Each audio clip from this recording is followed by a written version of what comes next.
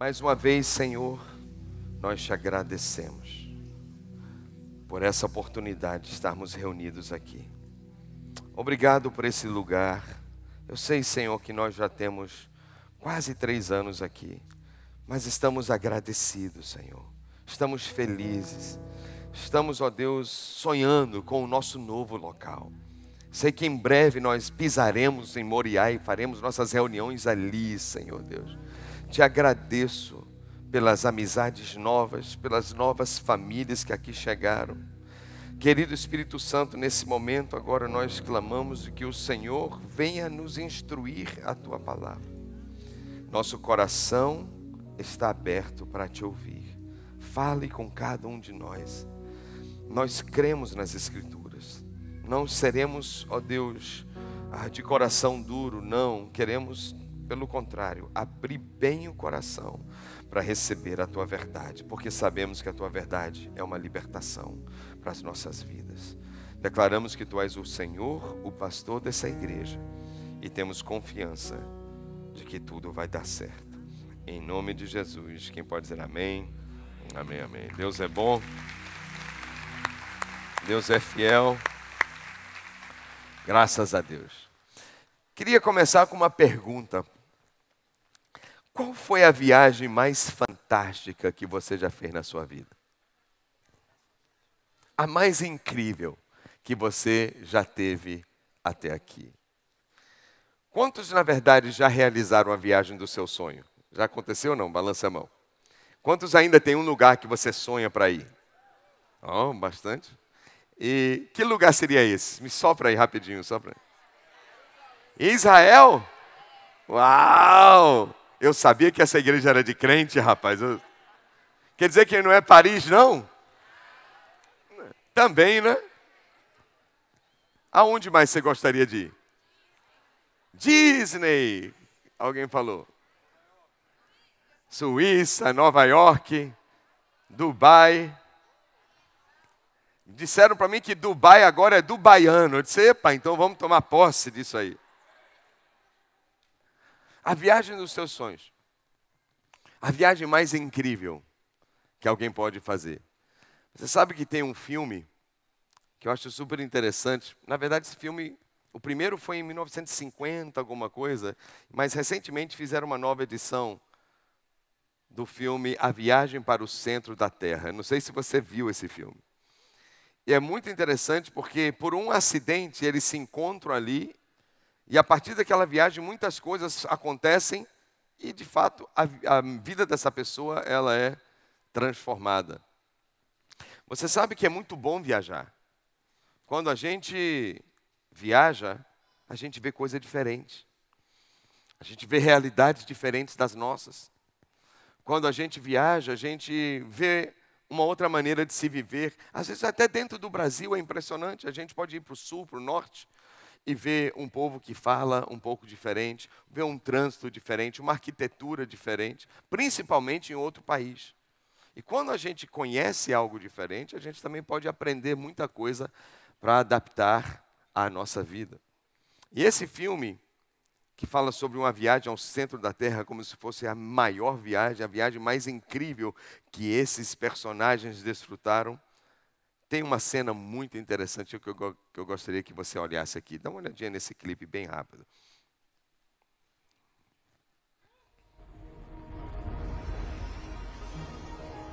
Depressa! Quero chegar em casa antes do anoitecer. Oi, dá pra ir um pouquinho mais devagar?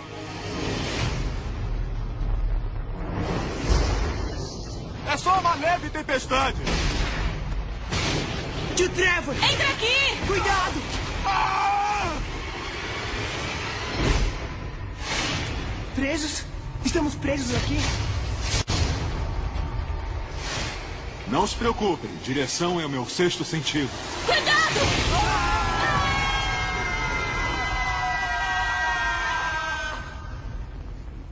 A gente ainda tá caindo!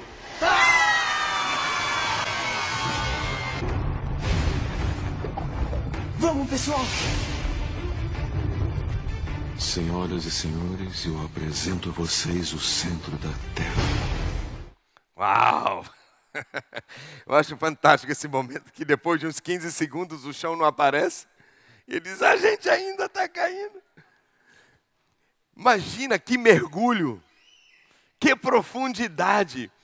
E eu fiquei imaginando, a Bíblia fala a respeito de uma viagem assim, que existe, podemos dizer assim, um guia turístico, alguém que nos ensina esse caminho, alguém que nos faz conhecer as profundidades do coração de Deus. Está escrito em 1 Coríntios capítulo 2 que o Espírito Santo sonda todas as coisas e ele mergulha nas profundidades do coração de Deus e aquilo que ele encontra, ele traz à tona e nos revela e ele nos mostra. Você pode imaginar ir a vários lugares, mas hoje eu quero lhe convidar a viajar comigo, não ao centro da terra, mas ao centro do coração de Deus. E se nós mergulharmos de cabeça, o que é que nós vamos encontrar? O que será que está no âmago dos desejos de Deus? O que será que, que é o centro do coração dele? Eu não sei qual é a piscina mais profunda que você já deu um mergulho. Mas imagine nessa hora você se jogando para dentro do coração de Deus e, na, e, e, e, dando as braçadas, e dando as braçadas dentro do coração do Senhor, e de repente você encontra algo precioso. O que será que a gente vai encontrar? O versículo do mês, você sabe que em 2018, o salmo do ano é Salmo 84, não é isso? E agora no no mês 5, versículo 5, fala de que aqueles que têm os caminhos aplanados, aqueles que construíram uma avenida até o coração de Deus, a Bíblia diz: esses receberão as forças de Deus. O que a Bíblia nos mostra é o que nós encontrarmos no coração de Deus será a fonte da nossa força.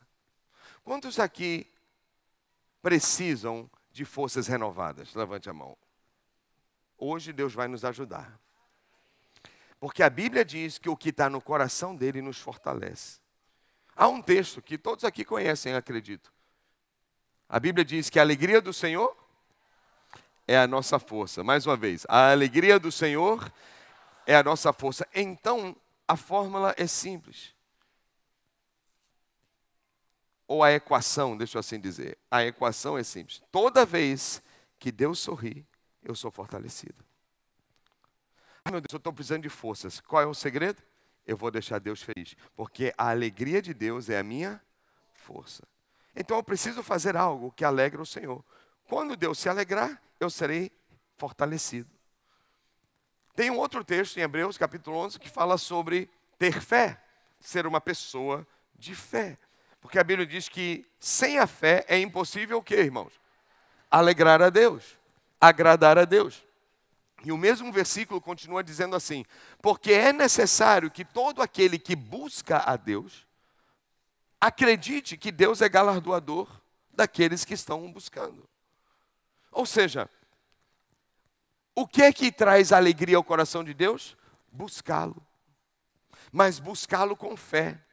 E ter uma fé de que aquilo que você encontrar no coração dele vai ser um motivo para a sua alegria também e vai ser um motivo para as suas forças renovadas. Esse ano de intimidade é tudo a ver, tem tudo a ver com conhecer Deus, em experimentar o coração de Deus. E assim como o Espírito Santo mergulha no coração do Pai e revela as coisas que ali estão, hoje Deus quer revelar algo do coração dele para a gente. E a pergunta se torna outra vez: se eu chegar ao centro do coração do Senhor, o que é que eu vou achar? Bem, uma das maneiras de nós descobrirmos é olhar para a vida de Jesus. Porque Jesus, ele foi a personificação de Deus Pai. Jesus encarnado foi Deus em carne. E tudo que Jesus falava era o que Deus queria falar. Tudo que Jesus fazia era o que Deus Pai queria realizar. Tudo que Jesus sentia, o coração dele era um só com o coração de Deus. Por isso que Jesus disse: Eu e o Pai somos o quê? Um só. E quando a gente analisa Jesus, a gente consegue entender o que está no coração de Deus Pai.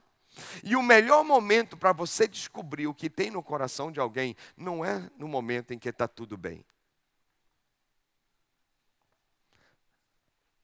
É verdade ou não? Porque às vezes, quando está tudo bem, a gente não fala, na verdade, o que está acontecendo aqui dentro. Mas são nos momentos de fragilidade que normalmente a gente denuncia o que está acontecendo aqui no coração. São nos momentos de dificuldade que a gente acaba falando aquilo que está dentro do nosso coração. Tem gente que, que às vezes a luta está tão grande que não está nem aí para quem está do lado, já fala logo tudo que está passando. Senta no ônibus, já começa a falar do problema da vida dela. É um, é um estrangeiro, nunca viu na vida, mas porque a semana está difícil e acaba declarando o que está no coração. Às vezes na mesa com a família, a situação, a semana não está boa, mas eu revelo o que está no meu coração e eu deixo a coisa saltar. Se a gente for, então, tentar descobrir o que tem no coração de Jesus, o melhor momento para a gente descobrir seria avaliar o pior momento de Jesus. Vocês estão me acompanhando ou não? E se a gente detectar o pior momento de Jesus, o que ele fez e o que ele falou, eu vou poder descobrir o que está realmente ali dentro. E a Bíblia realmente mostra isso. E é surpreendente o que tem no coração de Jesus. Pré-cruz, pré-traição, horas antes de Judas aparecer como escolta de guardas religiosos, para levá-lo amarrado, para ele ser açoitado, entregue aos romanos e depois crucificado. Antes disso, Jesus sentindo o momento da angústia chegar, ele abre o coração, ele rasga o coração e ele fala com Deus o que está aqui dentro. E que momento da Bíblia isso está registrado? Em João capítulo 17. Dá uma olhada agora comigo nesse texto. Capítulo 17 de João. E eu não vou ler na linguagem que normalmente nós usamos, na versão que a gente usa, que é NVI, nova versão internacional. Eu vou usar a linguagem de hoje, tá? que é uma linguagem mais aberta mas eu queria que você, de qualquer forma, me acompanhasse, vendo a sua Bíblia e vendo a linguagem e escutando a linguagem de hoje. Qual é o texto? João capítulo 17. Pré-cruz, pré-sofrimento, pré-traição. Quando eu digo pré, são horas antes. E Jesus está fazendo uma oração ao seu Pai. Depois de dizer essas coisas, Jesus olhou para o céu e ele disse: Pai, posso imaginar Jesus suspirando, chegou a hora. Revela a natureza divina do teu filho, a fim de que ele revele a tua natureza gloriosa. Pois tem dado ao filho autoridade sobre todos os seres humanos, para que ele dê a vida eterna a todos os que lhe deste. Jesus diz: todos, Pai, todos os homens que o Senhor me der, eu darei vida eterna para eles, porque essa autoridade o Senhor me deu. E agora Jesus começa a falar dos homens que Deus Pai deu para Jesus. Jesus fala no versículo 4: Eu revelei ao mundo a tua natureza gloriosa, terminando assim o trabalho que me destes para fazer. E agora, Pai, Dá-me na tua presença a mesma grandeza divina que eu tinha contigo antes de eu chegar nesse mundo, antes do mundo até existir. Eu mostrei quem tu és para aqueles que tiraste do mundo. Estou no versículo 6. Eu mostrei quem tu és para aqueles que tiraste do mundo e me destes. Eles eram teus e tu os deste para mim. Versículo 8. Eu lhes entreguei a mensagem que tu me destes. E eles a receberam. Versículo 9.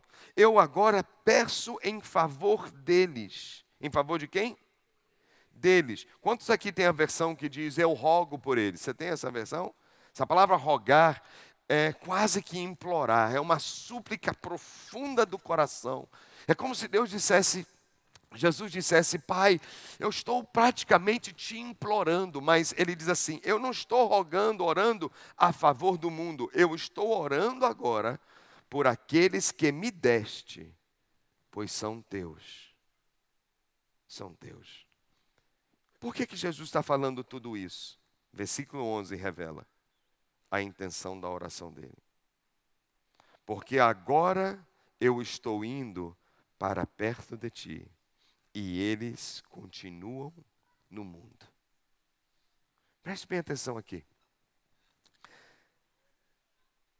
No momento mais crucial da vida de Jesus, no momento, ele que sabe todas as coisas, no momento em que ele está para receber um beijo de um traidor como se fosse o seu melhor amigo.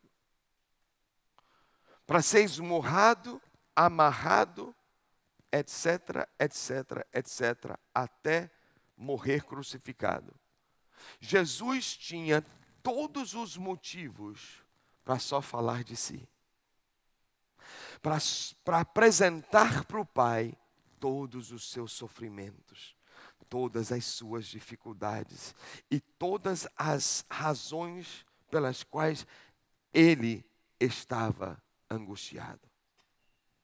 Mas incrível é que no momento de maior dor e sofrimento, Jesus não está pensando em si. Jesus está pensando nos discípulos. Olha que fantástico é Jesus como ele é incrível. Porque o normal seria ir para Deus e só falar dos problemas, só falar das lutas e dizer isso é uma injustiça, eu não mereço isso, eu não pequei, eu não errei, eu nunca te traí, eu nunca te desobedeci, por que, que eu estou sofrendo, o que, que eu fiz? Ah, parece até a oração de alguém aqui. eu, eu que te adoro, eu vou para a igreja, eu dou o dízimo, por que, que eu estou passando por isso? Jesus, ele não tem essa linguagem. Ele nem lembra de si nessa hora. Jesus não está preocupado consigo mesmo. Jesus tem outra coisa na cabeça dele. Ele está orando para por quem? Pelos discípulos. Quer saber o que está no coração de Deus? Ao mergulhar ao centro do coração de Deus, esse é o momento que a gente poderia dizer: ahá, achei em Jesus. Uma coisa bem, bem, bem humana, bem natural de um homem caído. Mas Jesus não era caído. Jesus, nessa hora, pensa nos discípulos. Sabe por quê? Porque Jesus sabe que daqui a algumas horas ele vai ser crucificado e ele vai morrer. Mas Jesus também sabia que ele ia ressuscitar, sim ou não? Sabia ou não sabia? Sabia. E, e Jesus, quando fala com Deus agora, ele demonstra tanta preocupação com os doze e com a equipe dele, que ele começa a pedir a Deus que os proteja. Por quê? Olha, olha só que coisa interessante. Porque Jesus sabia que esses discípulos iam ficar três dias sem ele. Quantos dias? Três meses? Três anos? Por causa de três dias, Jesus faz uma intercessão imensa. Porque depois da ressurreição ele está de volta. Galera, cheguei, está tudo bem agora. O Espírito Santo, ele ia para o céu, mas ele ia para o céu. Mas ele ia entregar quem no lugar dele? O Espírito de Deus morar agora dentro deles. Então está resolvido. Mas enquanto não havia Pentecostes, enquanto Jesus não tinha ressuscitado, eles não teriam o Espírito Santo e o inimigo estava solto. E por causa de três dias, Jesus demonstra um amor, um apego por essa equipe, por esses discípulos. Guarde isso. Eles só iam ficar três dias sem Jesus. Mas Jesus sabia que três dias sem oração podia terminar mal. E Jesus clama. E ele diz assim: veja o texto. Ele diz assim, final do versículo 11: guarda-os, guarda-os no teu nome. Versículo 12: Quando eu estava com eles no mundo, eu os guardava pelo poder do teu nome. Tomei conta deles e nenhum se perdeu, a não ser aquele que já estava escrito, falando de Judas. Versículo 15: Não peço que os tires do mundo, mas que os guardes de quem? Do maligno. Assim como eu não sou do mundo, eles também não são. Versículo 18. Assim como tu me enviastes ao mundo, eu também tenho uma missão para eles. Eles irão ao mundo. E Jesus clama pela proteção dos discípulos por causa de três dias. E aí você pensa, uau, como Jesus ama os discípulos, é verdade. Só que Jesus não orou apenas pela sua equipe, apenas pela equipe. Versículo 20 tem mais alguém na oração de Jesus. Versículo 20 diz assim: Não oro somente por estes que o Senhor já me deu. Eu também oro a favor das pessoas que ainda vão crer em mim no meio por causa da mensagem deles. Eu estou orando agora, Pai, por aqueles que vão crer em mim em 2012, aqueles que vão crer em mim em 2015, aqueles que vão crer em mim em 2017, em 2018, aqueles que vão crer em mim no dia 6 de maio de 2018. Eu estou orando desde agora por esses. Eles precisam de atenção e de cuidado. Protege o Senhor. É impressionante. Jesus Capítulo 17 é um raio-x do coração de Deus. Porque o que está no coração de Jesus está no coração do Pai. E surpreendentemente, quando a gente mergulha no coração de Deus, nós encontramos vidas, nós encontramos pessoas. Porque Deus dá um valor incalculável para cada um de nós. O seu valor é inestimável. Eu sei que tem pessoas que não se valorizam. Inclusive, tem gente que nem valoriza a outra pessoa. Tem gente que dá mais valor a bicho do que a gente. É fato. Tem gente que cuida mais de bicho do que de pessoas. Assim também tem gente que cuida mais de um carro do que às vezes de um amigo, não é?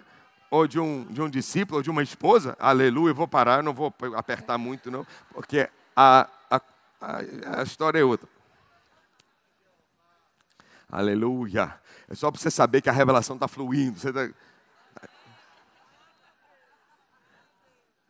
É, impre... é impressionante. Você sabia que existem leis hoje que se alguém derrubar uma árvore, ela vai presa e ela não pode ser solta ou confiança? Ela tem que esperar um julgamento? Agora, se matar uma pessoa, ela consegue ela tem habeas corpus, ela tem alguma coisa, e ela consegue ser liberada. Tem, tem coisas que não fazem sentido. Tem gente que não dá muito valor a outra gente, outra, outras pessoas, mas Deus não é assim. Deus diz na Bíblia que a sua alma, para Ele, vale mais do que o planeta inteiro. Você tem mais valor que toda a floresta amazônica, com toda a riqueza que tem ali. Você tem mais valor do que todo pré-sal que existe do petrolão no Brasil. Você tem mais valor do que qualquer bicho dessa natureza. Pode ser qualquer um, do mais bonito que tem. Hoje eu lembrei até do camaleão, quando eu estava pregando essa palavra de manhã. Ô bicho bonito. Disfarça assim, vira as cores. Quem sabe você é até um camaleão diante de Deus, toda hora está tentando se disfarçar, mas mesmo assim Ele te ama e tem um plano na sua vida e não vai esquecer de você. Ele ama você e te dá um valor imenso. Porque a Bíblia diz assim: o que adianta uma pessoa trabalhar tanto, ganhar, conquistar, avançar, se tornar rico, famoso e ganhou tudo, mas no final não ganhou a salvação? Jesus questiona isso. Ele diz: que foco de vida é, é esta? Ou é este? Diz assim: que adianta um homem ganhar o mundo inteiro, mas perder sua alma? Concluindo, minha alma tem mais valor do que o mundo todo. Balança alguém e diga assim: você tem mais valor do que imagina. Oh, glória. Solteiros, aproveitem esses momentos proféticos. E pode ser que Deus está fazendo uma obra ainda. Agora, agora é é para Deus, né? Você tem mais valor do que você pensa. Para Deus. Mas aí você aproveita e diz: para mim também. Oh, glória. É um lugar maravilhoso para encontrar esposa e marido é na igreja. Uhum. Pois é, estou me segurando para não ir para o outro caminho. Pois é. Veja o que a Bíblia ensina. Qual é o texto-chave do mês?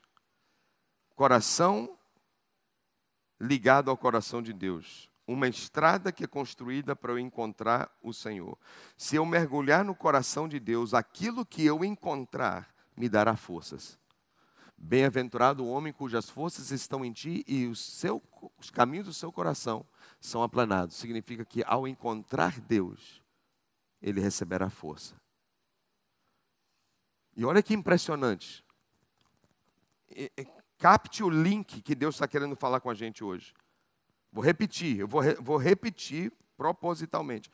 Se eu mergulhar no coração de Deus, aquilo que eu encontrar no coração dele me dará força. E nós acabamos de ver o que existe no coração de Deus. Se no momento mais complicado da vida de Jesus, Jesus só pensava em pessoas, então significa que em qualquer outro momento da vida de Jesus, ele também pensava nos outros e não em si. Então, ao você mergulhar no coração de Deus e você encontrar pessoas, encontrar discípulos, encontrar amigos, significa que essas pessoas serão uma força para a sua vida também. Ok? Olha o que Jesus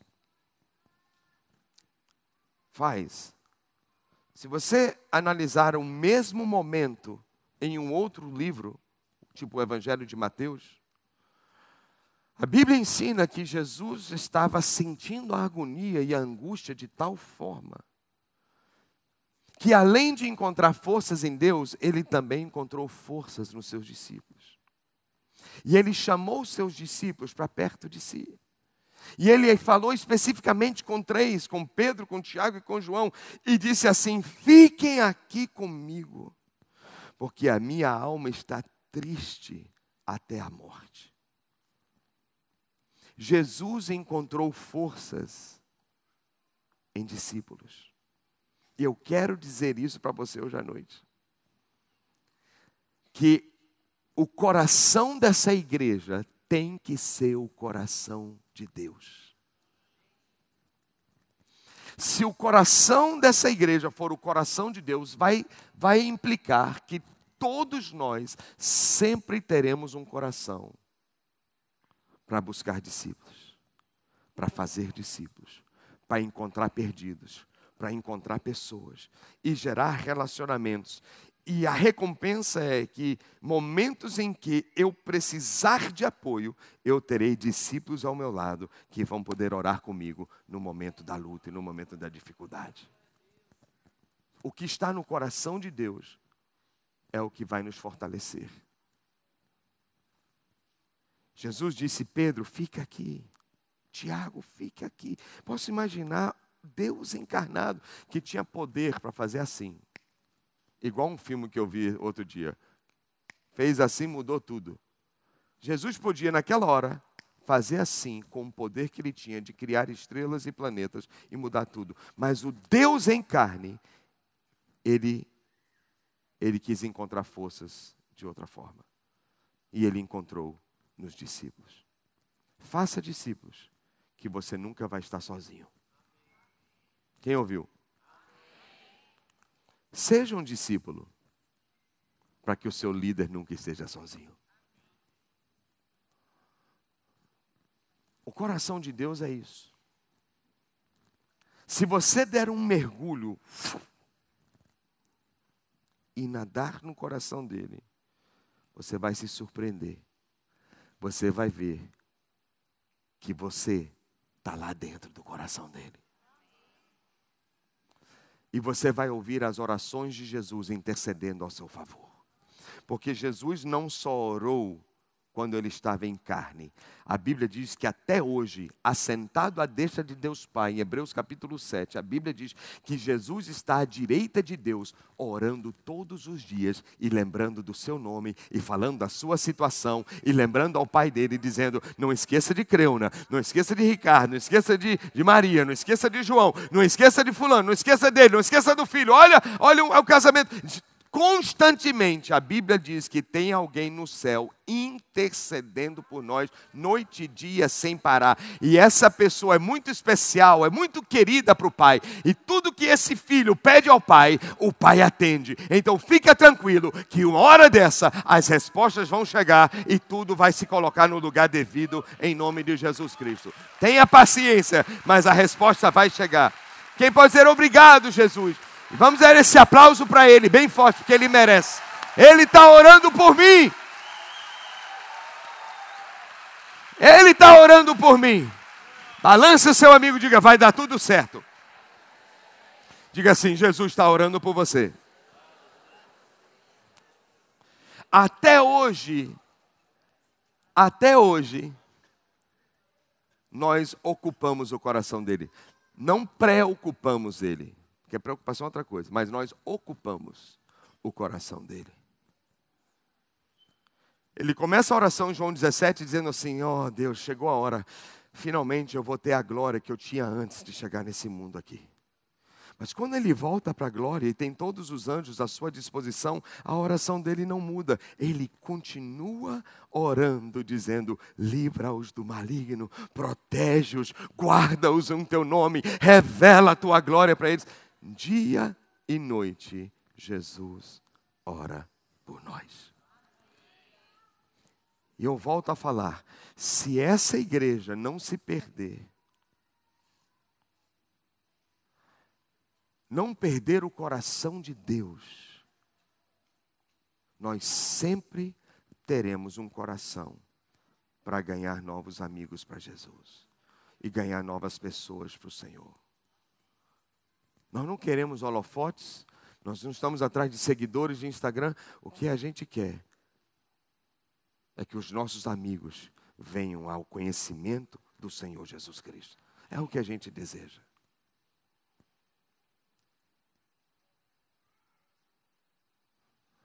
A Bíblia ensina que o desejo do coração de Deus a Bíblia fala de muitos, muitas vontades de Deus, mas tem uma coisa que bate forte. Veja o texto agora. E a gente vai orar. 1 Timóteo capítulo 3. 1 Timóteo capítulo 3. Perdão, capítulo 2, versículo 3. 1 Timóteo 2, versículo 3. Posso ler? Bíblia diz assim: Isso é bom e agradável perante Deus, o nosso Salvador. O que é bom e agradável? Que Deus deseja que todos os homens sejam salvos e cheguem ao conhecimento da verdade. Qual é o desejo de Deus? Que todos os homens sejam salvos e cheguem ao conhecimento da verdade. Não apareceu no telão, mas você ouviu, né? que todos os homens sejam salvos. Qual é o desejo de Deus? Que todos os homens sejam. Qual é o desejo de Deus? É isso que Deus quer. E se essa igreja tiver o coração dele, nós vamos ter uma preocupação máxima Vidas aos pés do Senhor. Vidas aos pés do Senhor Jesus Cristo. Por isso eu digo a você, a mensagem do mês nos ensina: se peregrinarmos, se fizermos uma viagem, não para o centro da terra, mas para o centro do coração de Deus, o que encontrarmos ali vai nos dar força. E a Bíblia nos ensina o que está no centro do coração de Deus é o desejo de pessoas serem salvas. A memória de pessoas está no coração de Deus. Jesus orando noite e dia pelas pessoas. E se eu e você alcançarmos essas vidas, nós vamos alegrar ao Senhor. E a Bíblia diz que a alegria do Senhor será a nossa força. Vamos ganhar almas que nunca vamos nos sentir fracos. Porque se estivermos fazendo o que Deus quer, Ele vai ser o primeiro a nos manter firmes e fortalecidos na Sua presença. O que Deus espera dessa casa e espera de você é que possamos ganhar vidas para Ele. E eu vou ser bem direto para você. Bem direto. Ore hoje à noite para que o Senhor lhe dê o coração dele. Porque a coisa mais comum para um homem normal não é mergulhar no coração de Deus, mas é mergulhar no seu próprio coração. Porque quando a gente mergulha no nosso próprio coração, a gente cria um mundo isolado das pessoas. E a gente acha que todo mundo agora tem que ver o meu mundo. Todo mundo tem que entender o meu mundo. Todo mundo tem que tem que ter paciência com o que eu estou passando nesse mundo. E aí eu só vejo o meu problema, eu só vejo a minha luta, eu só vejo a minha dificuldade, e eu entro num mergulho que, em vez de me levantar, não, só me faz afundar. E é incrível que quando a gente mergulha no nosso mundo pessoal, nossas, das nossas lutas, nossos problemas, nossas dores, a gente não ganha forças. Ao contrário, nossas forças são sugadas. E a Bíblia diz: mergulhe no coração de Deus que você vai ter força para vencer isso que está dentro da sua realidade, dentro do seu mundo. Temos que tomar uma decisão de entrar no coração de Deus. Não seja normal, como todo mundo. Já diz que crente é maluco, é fanático, é doido, então tem problema, ué. Vamos ser diferentes de todo mundo. Vamos pensar nos outros. Eu não sei se você já teve uma experiência de passar por uma crise, passar por uma situação difícil, passar por uma luta e achar que só você está com dor. E só você está sofrendo. Uma vez eu passei por isso. Uma pressão, uma dificuldade, uma situação complicada, e eu estava sempre dizendo assim: ninguém tem ideia do que eu estou passando, ninguém entende a pressão sobre os meus ombros, ninguém sabe a guerra espiritual que eu estou atravessando. É como se ninguém vai entender, por mais que eu começasse, ninguém vai entender. E eu estava já entrando numa vitimização de que eu sou um coitado, eu que estou passando para a luta, eu que estou carregando a bola toda. E aí fico nesse negócio, até que Deus permitiu eu encontrar alguém que tinha uma luta muito pior do que a minha.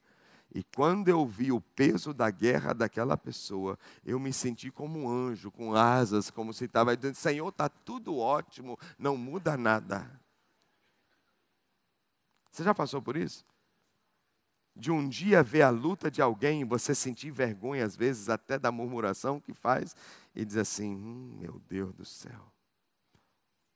Tem pessoas que estão passando guerras muito maiores do que as nossas.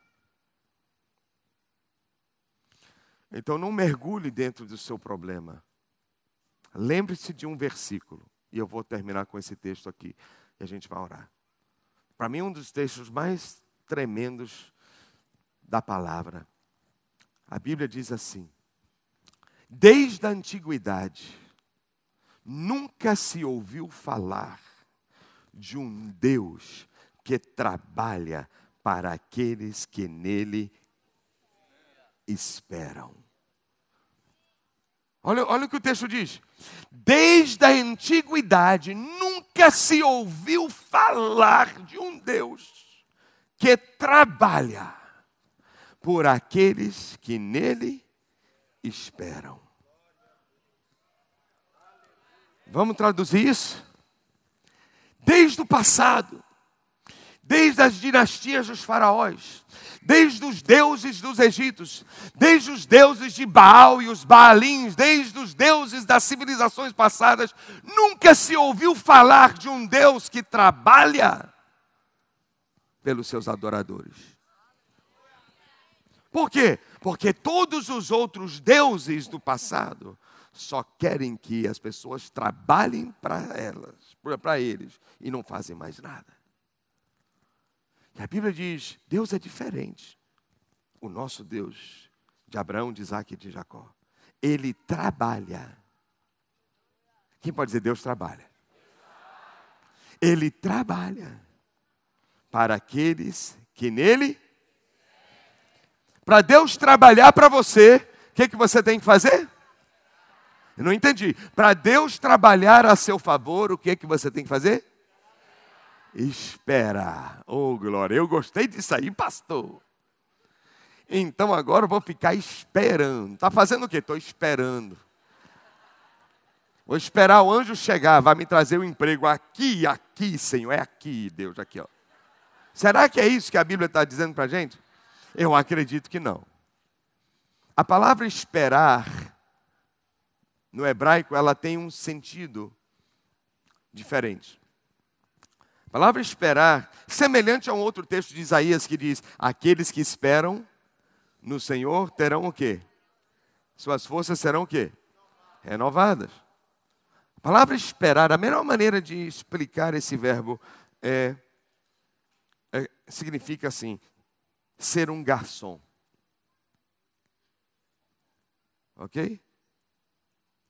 Como é que é? É isso mesmo que você escutou.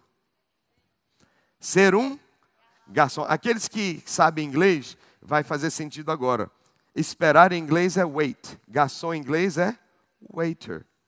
É aquele que espera. O que, que um garçom faz? O que, que um garçom faz? Ele espera. Espera o quê? Ter uma necessidade na mesa. E a mínima necessidade que existe, ele vai e age. Ele vai e contribui. Ele vai e serve. Ele vai e ajuda. Alguém aqui já, já foi servido por um garçom que você acabou de beber a Coca-Cola, já está rapidinho enchendo de novo? Não é? Não, não dá nem tempo. Às vezes o garçom quer estar tá lá, está atento na mesa, quer contribuir, e a gente nem terminou direito, ele já está arrumando tarefa, já está levando o prato, já está trocando o prato. A gente está na churrascaria e daqui a pouco tem um restinho ali da, da maminha, né? Está ali, e daqui a pouco ele levou embora. E aí? Mas, mas eu fico feliz que ele colocou um outro prato branquinho aqui na minha frente para eu botar mais, mais uma carninha essa atitude de servir, de colocar, de contribuir, de ajudar, isso é esperar.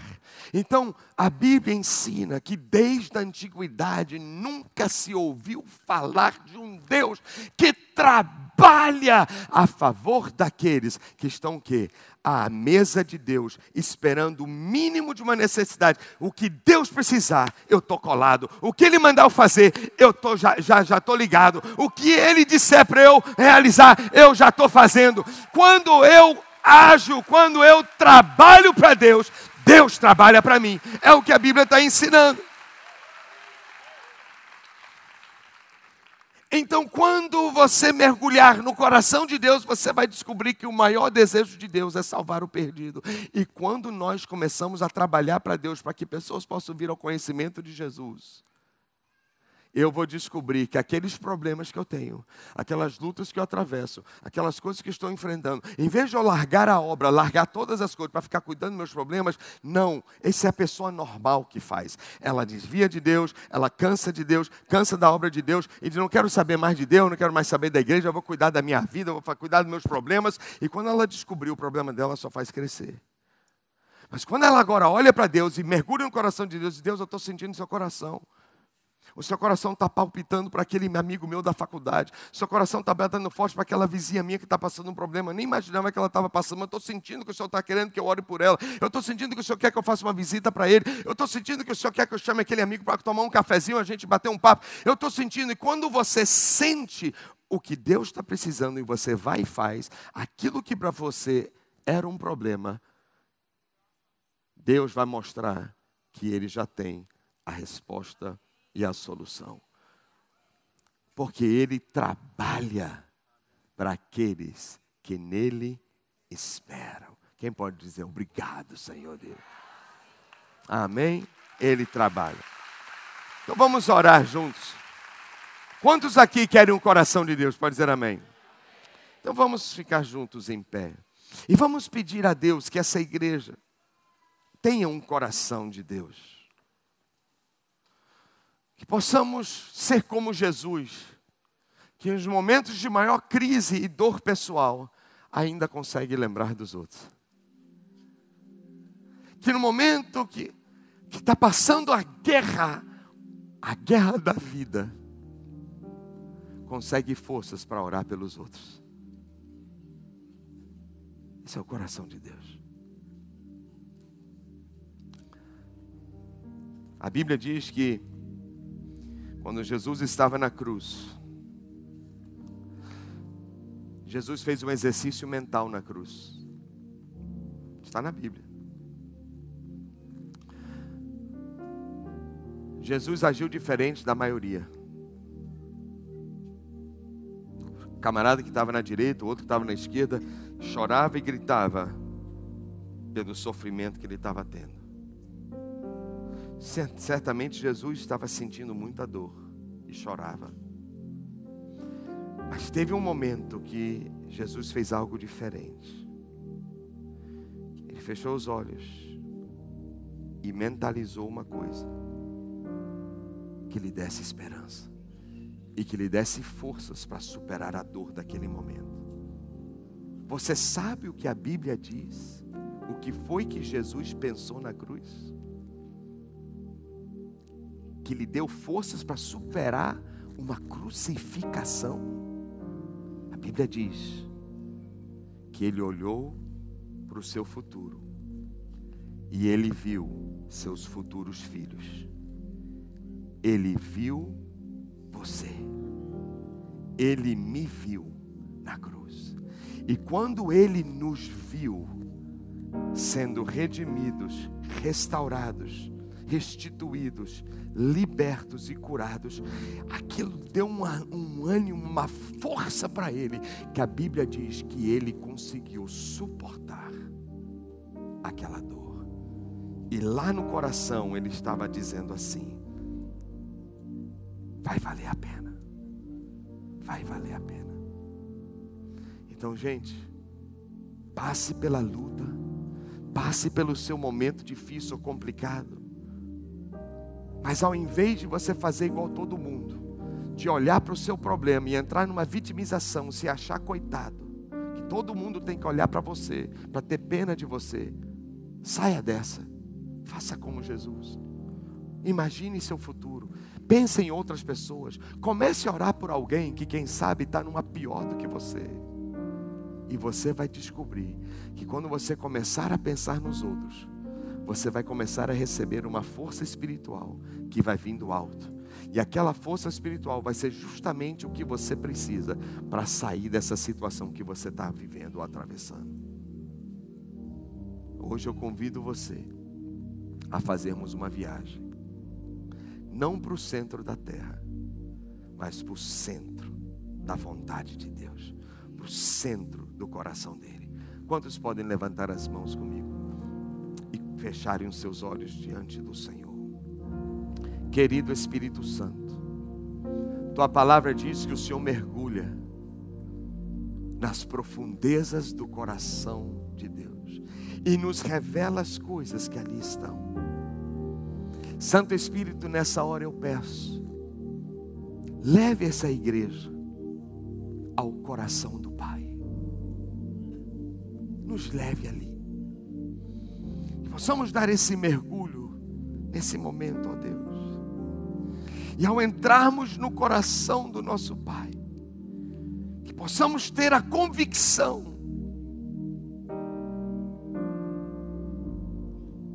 de que ao entrarmos ali, nós vamos ver a nós mesmos no coração de Deus. Eu estou no coração de Deus. Mergulhe, imagine você agora mergulhando no coração de Deus Pai que você encontra ali? Você encontra você mesmo. Declare agora, diga: Eu estou no coração de Deus. E Deus ali está planejando sua vida, Ele está pensando no seu futuro, está num eco, as orações de Jesus estão ecoando ao redor, clamando por você, pela sua segurança, pelo seu livramento, pela sua paz, pela sua cura, pela sua saúde. Jesus está intercedendo. Tudo isso está acontecendo dentro do coração de Deus. Só que eu percebo que eu não estou sozinho ali. Se eu olhar ao redor, eu vou ver que tem muita gente, tem meus amigos, tem pessoas perdidas, que Deus está com um desejo imenso em salvar essas pessoas. Porque ele ama os meus amigos, tão quanto Ele me ama. E eu sou a esperança de Cristo para alcançar essas pessoas. Então, em meio a qualquer situação que você está passando agora, eu vou pedir a você que você faça uma oração por essa pessoa que você vê no coração de Deus. Dá uma olhadinha mais uma vez. A primeira pessoa que vier à sua mente é essa pessoa que está no coração de Deus. E eu vou pedir agora, em 30 segundos, levante uma oração a favor dessa pessoa que você pensou agora, que está precisando de livramento, está precisando de proteção, está precisando de uma resposta do alto, está precisando de uma cura divina ou de um milagre. Levante a sua voz agora, diga o nome dela, converse com o Senhor, diga o Espírito Santo, eu estou vendo fulano, diga o nome da pessoa. Espírito Santo, eu agora vou orar como Jesus.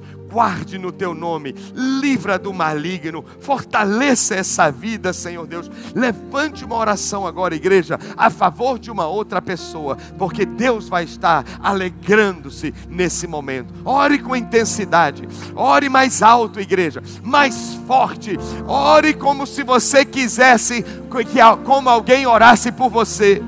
Como você quer que alguém ore pela sua vida, ore por alguém agora, por essa pessoa que você pensou.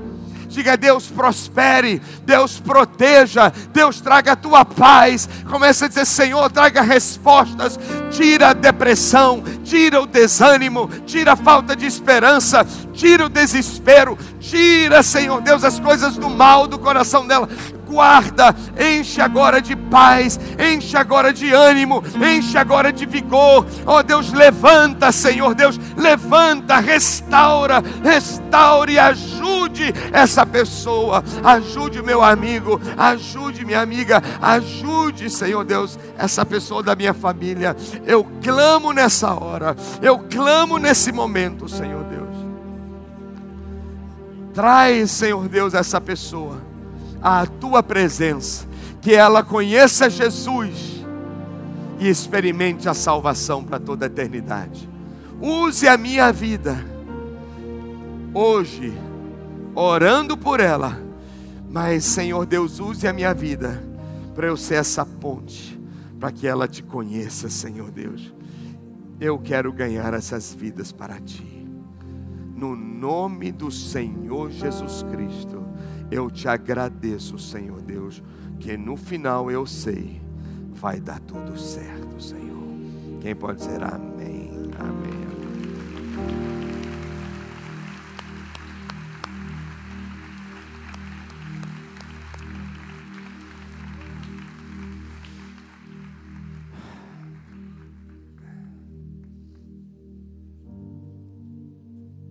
Essa pequena oração que a gente fez por alguém agradou o coração de Deus. Eu queria só tirar a prova dos nove. Quantos aqui, só por fazer uma simples oração a favor de alguém, você já se sente melhor e mais fortalecido? É fato ou não? Você só está tá enrolando? É, porque muita gente levantou a mão. Vamos lá, vou repetir. Nós gastamos dois minutos orando por alguém em dois minutos a orar por alguém, você se sentiu mais forte? É verdade ou não? Então a pregação já se cumpriu na nossa vida hoje à noite. Já se cumpriu. Só o fato de pensar em alguém e orar por ela, Deus já me fortalece. Se a gente fizer isso todo dia, hein? Como é que vai ser o resultado da semana? Agora você já sabe quando você se sente para baixo, pense logo em alguém para você orar. E Deus vai lhe dar força. E encare aquele desafio com a força do Senhor. Que no final, os seus problemas, Deus vai trabalhar por eles e vai resolver tudo. Quem pode dizer obrigado, Senhor? Bem forte aplauso para Jesus.